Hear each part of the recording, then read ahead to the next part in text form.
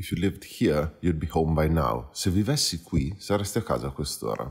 È un libro pre-pandemia pubblicato nel 2019 da cui vogliamo partire oggi per una riflessione estiva sullo stile di vita, sul nostro stile di vita.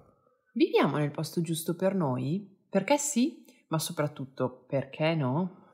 Partiamo da un libro che racconta la storia di un giornalista, un giornalista che si occupa di dati per il Washington Post e che insieme alla sua famiglia cambia completamente vita, dal pendolarismo sulla costa est degli Stati Uniti a quello che i dati hanno definito il peggior posto dove vivere negli Stati Uniti, ovvero Red Lake County nel Minnesota.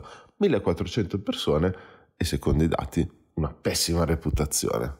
Christopher Ingraham è un giornalista del Washington Post, abbiamo già detto, si occupa di dati, analisi dei dati e scrive articoli partendo da delle analisi di dati. Questo articolo in particolare esce nel 2015, peggior posto dove vivere negli Stati Uniti, ma alla fine il peggior posto dove vivere negli Stati Uniti, Red Lake County, è stato il posto nel quale Christopher è andato a vivere con la propria famiglia. Ma non vogliamo spoiler- spoilerare né fare una recensione del libro, non vogliamo rubare a nessuno il piacere di vivere questa storia. Prenderemo però spu- spunto per riflettere sulla scelta del luogo da chiamare casa. Un'altra cosa che non faremo è dare consigli o giudizi assoluti perché scegliere il posto da chiamare casa è un discorso molto più complesso di quello che può sembrare. E, è un discorso che ha a che fare intimamente con noi stessi, con la fase nel, della vita nella quale ci troviamo, con i nostri sogni e anche con i nostri obiettivi. E voi come vi sentite? Nomadi, sedentari o una via di mezzo? Nascere, vivere, morire nello stesso posto, per via del lavoro oppure della famiglia, sono scelte di vita. Eh, a volte stiamo bene in un posto e quindi non abbiamo voglia di cambiare o forse abbiamo paura di cambiare o stiamo realizzando i nostri sogni in quel luogo eh, dove per caso siamo nati e cresciuti. Secondo noi l'importante è che questa sia una scelta consapevole.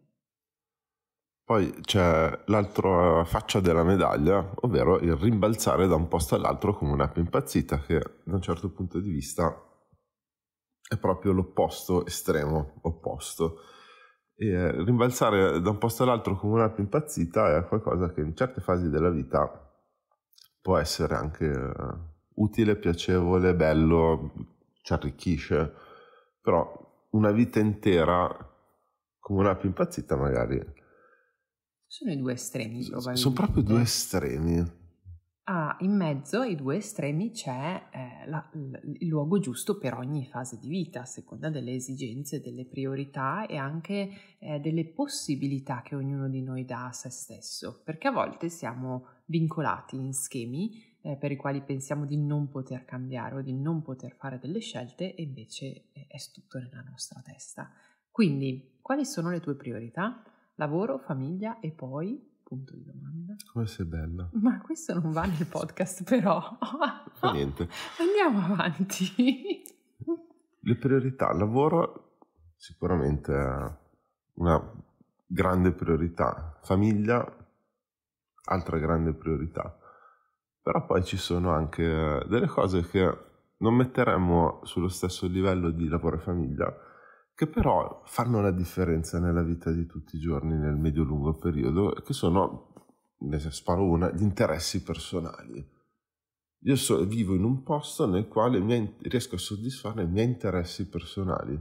Uh-huh. Secondo me questo non è un aspetto secondario da, da, considerare, perché io penso una persona a cui piace il mare, che, che, ama il mare, che ama fare attività in mare che possono essere immersioni, pesca o che ne so io.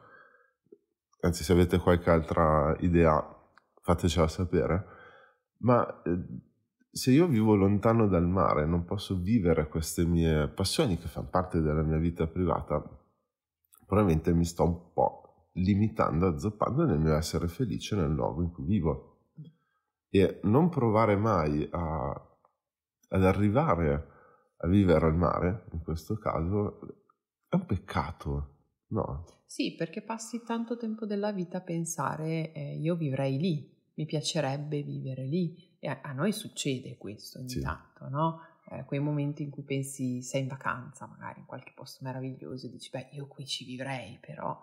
Poi cosa succede? Che torni a casa e un po' te ne dimentichi di quella sensazione, rientri nel tuo schema familiare e, e pensi, probabilmente con un retropensiero, quindi poco consapevole, che tanto non si può fare, quindi vai avanti per la tua, la tua via.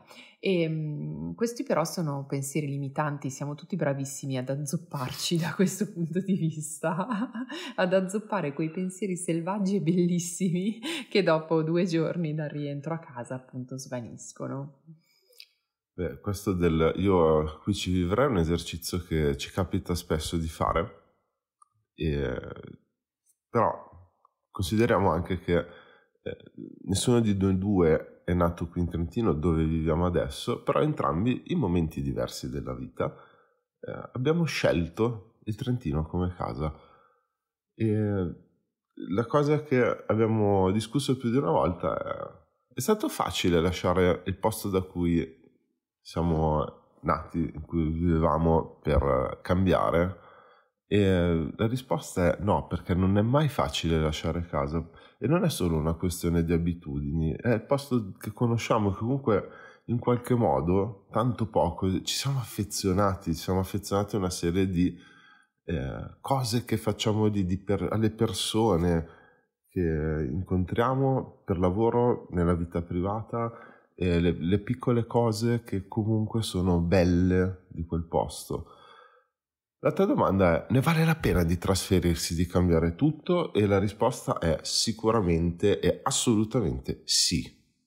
Io, per esempio, coltivavo da qualche anno l'idea di trasferirmi a vivere in montagna e per motivi di studio, lavoro e vita privata, questa è rimasta un'idea al palo per tantissimo tempo, forse troppo tempo. E poi sono partito mi sono trasferito e sono ripartito da zero sotto tanti punti di vista alla soglia dei 40 anni. È stato facile? No. Ne è valsa la pena? Assolutamente sì.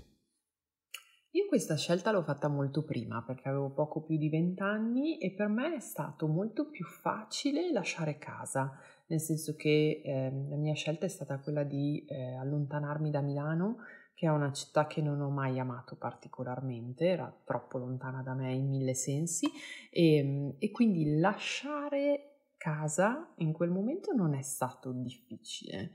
Ehm, la parte difficile è venuta poi nel ricostruire nel nuovo posto, e quindi in Trentino, e nonostante avessi già amici, conoscenze, insomma parte della mia vita, ma ricostruire le abitudini quotidiane, i ritmi e tutto quello che riempie la tua vita, la mia vita in questo caso, è stato, è stato sì abbastanza, abbastanza complesso, ci è voluto del tempo, mettiamola così. Ehm, sicuramente la consapevolezza poco più di ventenne di non essere nel posto giusto è stata estremamente importante. Eh, poi se rispondiamo alla domanda che ci siamo fatti prima, io mi sento molto nomade e quindi in questo momento viviamo in Trentino, come hai giustamente detto tu, ma nella nostra testa non ci poniamo limiti e quindi eh, pensiamo anche che sarebbe possibile un giorno vivere in parte qui e in parte altrove o magari trasferirci altrove per provare altri posti, altre esperienze. Pensa se vivessimo qui. Questo è un pensiero che ricorre ogni volta che andiamo in Sardegna, non solo d'estate, anche durante l'anno. E una delle cose che anche durante la pandemia abbiamo fatto è stata quella di pensare a come fare per trascorrere più tempo in Sardegna, soprattutto nella zona di Alghero, che è quella che abbiamo più nel cuore. E lo stesso pensiero non lo abbiamo, per esempio, rispetto a grandi città come possono essere Milano, Roma, Firenze, Bologna, che sono tutti posti che frequentiamo e che siamo sempre felici di visitare. Però il pensiero di viverci, anche no, non fa per noi, non fa per noi. E come abbiamo detto all'inizio, non è una questione di giudizio, non è una questione di assoluti, è, è relativo e per noi non sarebbe una scelta felice. Assolutamente, sono d'accordo. Quando io sono andata via da Milano, tantissimi amici mi dicevano tu sei matta perché lasciare Milano in quel momento sembrava un'assurdità. Eh, oggi avviene il contrario, tanti tanti di quegli stessi amici stanno, hanno cercato o stanno cercando di, di venire via dalla metropoli eh, e bisogna dire che sono cambiate le fasi di vita, per l'appunto siamo cresciuti tutti ragazzi, eh, non c'è niente da fare e, e, oltre a questo è cambiato anche il mondo, insomma dobbiamo dirci che la pandemia ha avuto un grandissimo effetto anche su questo. Ma eh, la domanda vera è come scegliere il luogo da chiamare casa, come si sceglie, come lo abbiamo fatto, ci abbiamo un po' riflettuto e abbiamo provato a fare un, un, un breve elenco di quali sono i criteri eh, con cui è possibile scegliere un luogo da chiamare casa. Se avessimo trattato questo argomento prima della pandemia, del lockdown e di questa fase molto speciale delle nostre vite, probabilmente avremmo sorvolato alcuni aspetti. Eh, aver vissuto l'esperienza del lockdown invece diciamo che ha acceso la luce su cose che alla fine noi abbiamo visto contano sicuramente di più. Eh sì, perché le priorità sono cambiate e il mondo del lavoro è cambiato e anche le famiglie in realtà, le relazioni. E quindi pensiamo che una riflessione su dove e come vogliamo vivere venga spontanea più o meno a tutti, non solo a noi. Sì. E Dai, ci sono... Quali sono, le tue priori... quali sono i tuoi criteri? diciamo che mettiamo al primo posto il silenzio, perché il silenzio è quello che ci permette di riposare bene, per esempio, quindi di dormire più serenamente, quello che ci permette di leggere, di studiare, di lavorare e avere dei rumori esterni che continuamente ci flagellano i timpani non aiuta la concentrazione, non aiuta il riposo. Quindi silenzio lo metto al numero uno perché se non riposiamo bene le cose non gireranno mai bene.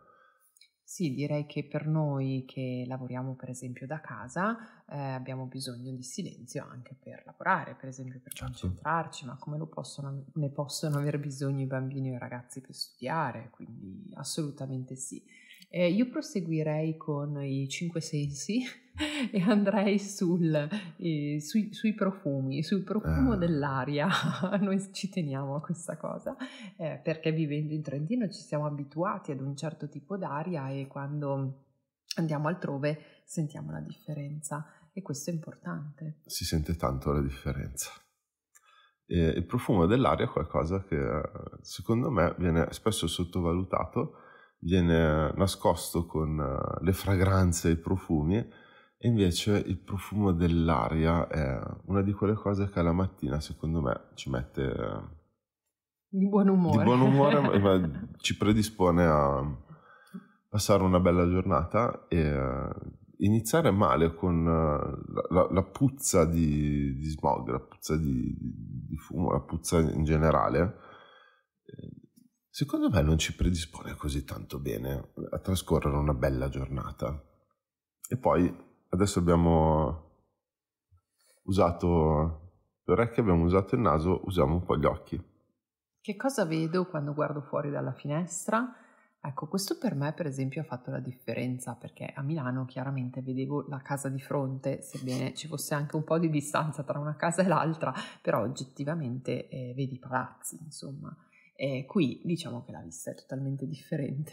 Sì. Io a Gallarate eh, vedevo il Monte Rosa nelle giornate nelle quali la cappa di smog non esagerava e diciamo era tutto chiaro, vedevamo il Monte Rosa, però allo stesso tempo, nel senso, il panorama non era molto diverso da quello che poteva essere Milano da qui invece quando apriamo la finestra, usciamo sul balcone la mattina, abbiamo di fronte a noi il castello, abbiamo di fronte a noi le montagne, i boschi, eh, il giardino dei nostri vicini che, dei nostri vicini che curano amabilmente anche per i nostri occhi, grazie, è una cosa stupenda. Beh, anche perché questo ci permette di godere del cambio delle stagioni, perché noi attraverso i giardini e i boschi vediamo proprio la natura modificarsi durante l'anno e il Monte Rosa è chiaramente strepitoso, però vederlo da lontano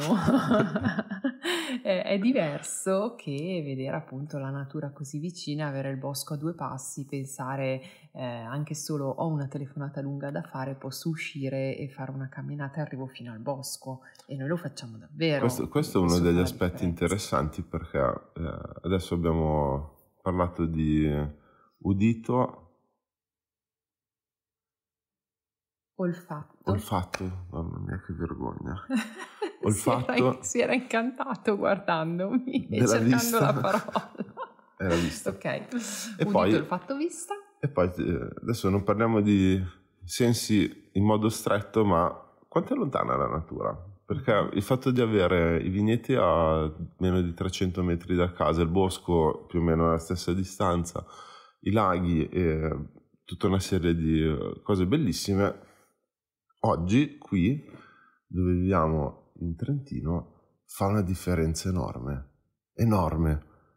È un modo stupendo di eh, poter lasciare andare e immergersi subito a due passi da casa nella natura. E non è una cosa che ricordo io potessi fare così facilmente. Mm. C'era sempre sì. un po' di strada da fare. Sono d'accordo, quindi ulteriore criterio che ci spinge nella scelta, i vicini di casa non sempre, insomma, possiamo sceglierli, no? Purtroppo i vicini sempre. non li scegliamo e eh, purtroppo non sono tutti eh, particolarmente rispettosi del prossimo, quindi come ha detto un nostro amico comune, meglio da soli e che i vicini siano lontani. E su questo non posso che essere d'accordo. Sono d'accordo anch'io, credo anche che non sia sempre possibile eh, né scegliere i vicini né scegliere appunto un posto così lontano dagli altri da non disturbarsi a vicenda.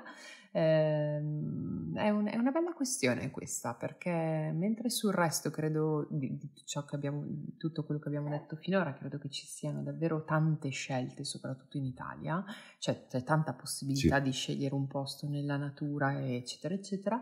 Eh, sulla questione vicini credo che sia abbastanza complessa. Sì, parecchio. Però è un aspetto che non può essere ignorato chiaramente. Diciamo che qui sicuramente è più, fac- è più facile, vincere facile rispetto a, alla pianura, mettiamola così. E condomini in pianura è, è, più facile, questo senza dubbio. E l'altra cosa a cui abbiamo pensato è posso andare al lavoro senza prendere la macchina? o adesso cambiate lavoro con posso andare al supermercato, posso andare da qualunque parte senza prendere la macchina, perché prendere la macchina vuol dire poi anche cercare parcheggio. E non è detto che sia sempre facile trovare parcheggio, noi abbiamo praticamente tutto a, raggiungibile a piedi, per cui eh, viviamo questo grande vantaggio anche. E quindi la domanda successiva è dove sono i servizi, a che distanza sono i servizi eh, che, che, ti servono in quella fase di vita per l'appunto, perché noi per esempio in questo, bisogno, in questo momento abbiamo sicuramente bisogno della scuola elementare come dell'asilo nido, eh, ma anche del medico, del supermercato, di tutto quello che la può servire una famiglia, mamma mia, la biblioteca, la piscina, eccetera, eccetera. Sì. Eh, e, e, quindi il fatto che tutto questo sia davvero raggiungibile a piedi in pochi minuti eh, cambia la qualità della nostra vita. L'altra domanda però che ci siamo fatti spesso è tutti questi servizi sono di qualità? Mi migliorano la vita? Eh, perché se vivo in un paesino davvero microscopico dove poi i servizi, come dire, esistono a singhiozzo, ci sono a volte sì, a volte no e magari la, le scuole non sono le migliori, allora ci poniamo due domande anche su questo. Quindi mm, piatti della bilancia che si devono come sempre equilibrare. Sì. E poi c'è un'altra cosa un po' più tecnologica che però secondo me nel 2022 non può non essere presa in considerazione. Internet e i telefoni cellulari in generale funzionano. Riesco a collegarmi bene a internet, riesco a usare internet come si deve sul mio computer, sul mio tablet, sul mio device, qualunque esso sia. Eh, noi abitiamo in Trentino, quindi da questo punto di vista siamo strafelici siamo strafelici per il posto in cui siamo adesso, ma ti assicuro che ci sono dei posti in Trentino in cui non sei strafelice per niente. Nel posto in cui siamo potrebbe essere meglio, ma già così va, bene. va benissimo. E, però anche qui ci sono dei posti che ancora non sono coperti, però mediamente il Trentino ha una copertura più che buona, contando che anche in montagna, quindi nel senso, ci sono sicuramente dei punti d'ombra. E poi c'è un'altra cosa che per i più giovani o quelli un po' più grandi può fare la differenza, che è quanto sono distanti e frequenti gli eventi sociali e culturali quindi il teatro, cinema, concerti, piuttosto che altri tipi di eventi eh, che abbiano a che fare una per dire con la musica, quanto sono lontani? E, adesso per noi, e soprattutto dopo la pandemia, è una questione che ha un, una posizione bassa nelle priorità. E pare che non siamo gli unici. E, però per, vivere in una grande città, per esempio vivere a Milano, offre chiaramente delle possibilità da questo punto di vista enormi, che sicuramente qui in Trentino non sono dello stesso tipo. Però quanto è importante, quanto conta nella fase della vita in cui sei avere a disposizione tutti questi eventi sociali e culturali? Perché io conosco anche parecchie persone a Milano che mi dicono, ah, io voglio vivere a Milano o comunque intorno a Milano perché se no eh, come faccio? Nel senso voglio uscire, voglio andare e poi sono sempre troppo stanchi per fare qualunque cosa tutti i giorni della settimana. Domanda, a che ci stai a fare? Come sempre però è assolutamente relativo e personale perché c'è chi invece si gode la vita milanese, in questo caso, visto che stiamo facendo questo esempio, e e, e ha proprio piacere no? di frequentare locali o appunto eventi eh, che, che in, altre, in, altri posti non, non, sono offerti, insomma. Quindi, boh, è tutto così relativo. In fin dei conti la domanda vera è eh, sei consapevole di ciò che vuoi? Esatto. Ecco. E, um, abbiamo un ultimo criterio con il quale Mm, scegliamo dove anche vivere. Questo, anche questo è un criterio per noi perché ci spostiamo spesso, quindi eh, non era un aspetto secondario per noi. Quanto è complicato prendere un treno ad alta velocità o un aereo? Dal Trentino, diciamo che per quanto riguarda gli aerei la situazione non è felicissima perché bisogna spostarsi su Verona, su Bologna, Bergamo o Milano, oppure Treviso e Venezia, seconda e non è sempre uno spostamento facile e organizzabile con semplicità. Mm-hmm. Però i treni ad alta velocità, sia Freccia Rossa di Trenitalia che l'Italo di NTV, li abbiamo. Fermano a Trento a Rovereto e tutto sommato eh, diventa facile raggiungere eh, Milano, Bologna, Verona, Firenze, Roma, Napoli nel senso, sì. le direttrici principali sono comunque Poi anche coperte. Questo è assolutamente relativo perché eh, a noi interessa oggi spostarci per lavoro, eh, in altre fasi della vita probabilmente interessa spostarsi per viaggi, in altre fasi della vita forse non interessa proprio spostarsi o ad altre persone semplicemente. Quindi anche questo insomma credo che, che sia davvero molto molto relativo. Noi oggi viviamo nella terza città del Trentino mm, per grandezza. Eh, sono circa 20.000 abitanti e mh, mm, direi che in questa fase della nostra vita è un posto che chiamiamo casa volentieri, è un posto che, che ci va bene, ma lo sarà per sempre? Sempre. Sempre. Non utilizziamo questa parola? No, no. no, no, non vogliamo utilizzarla, non è detto e oggi è un posto splendido dove vivere. Sì. Ma tornando alla domanda iniziale, andremo in vacanza dove viviamo? La mia risposta è sì.